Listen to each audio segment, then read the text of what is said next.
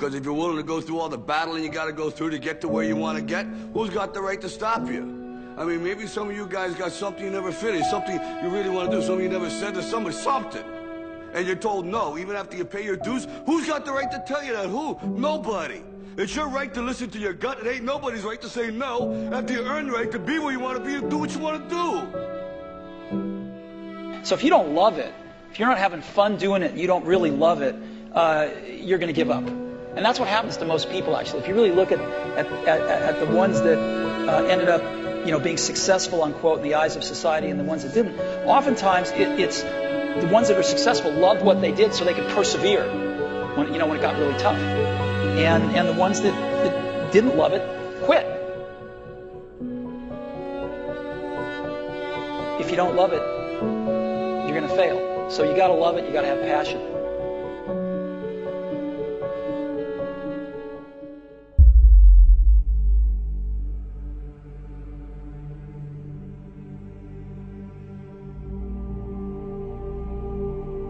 This kid's gonna be the best kid in the world. This kid's gonna be somebody better than anybody ever knew. And you grew up good and wonderful. It was great just watching you every day. Was like a privilege. Then the time come for you to be your own man and take on the world, and you did. But somewhere along the line, you changed. You stopped being you. You let people stick a finger in your face and tell you you're no good. And when things got hard, you started looking for something to blame like a big shadow.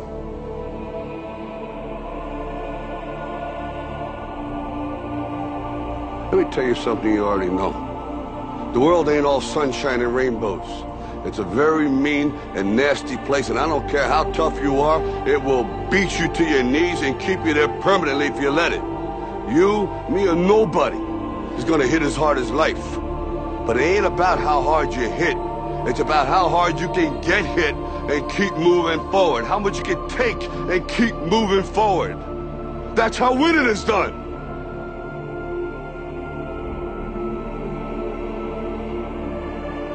Pain is temporary. It may last for a minute, or an hour, or a day, or even a year. But eventually, it will subside.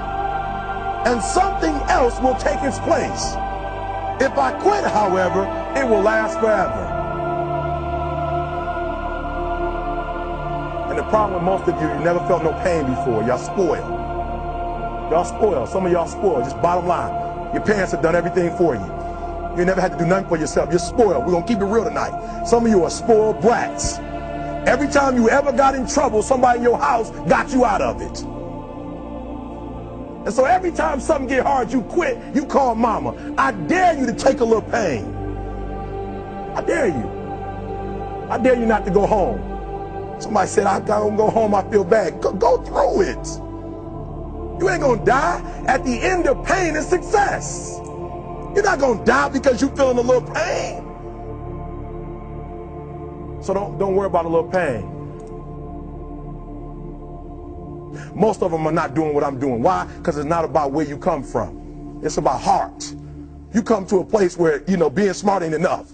You got to have heart.